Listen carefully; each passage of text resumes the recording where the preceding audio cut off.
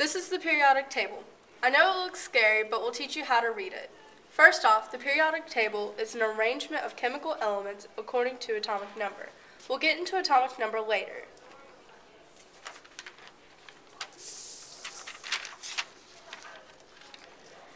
This is a period. A period is a horizontal row on the periodic table. It also tells you the energy level of an atom.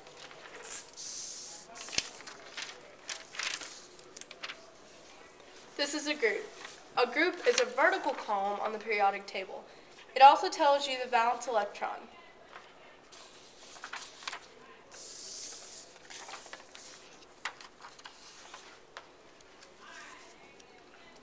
This is an atomic number.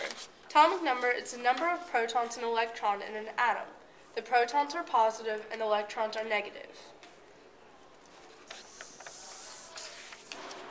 This is a trick to remember the atomic number. Atomic number is the top number on an element on the periodic table.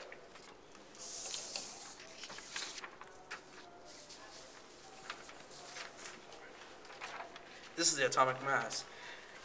The atomic mass is the sum of protons and neutrons. Neutrons are neutral.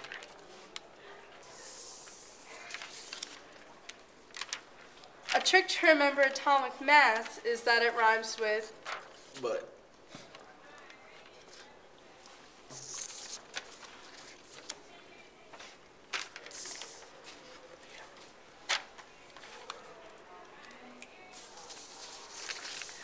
This is the valence shell. Valence shell is the outermost shell of an atom.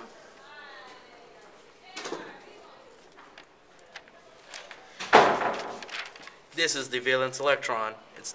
The uh, electron on the outermost shell.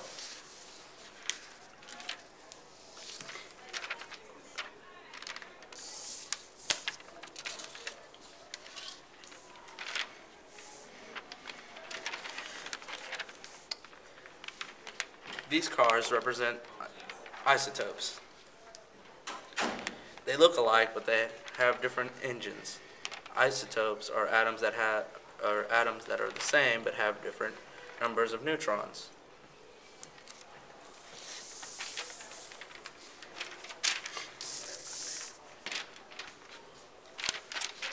All right. The orange is are metals. These these elements are metals. Um, the yellow are metalloids, and the green are nonmetals.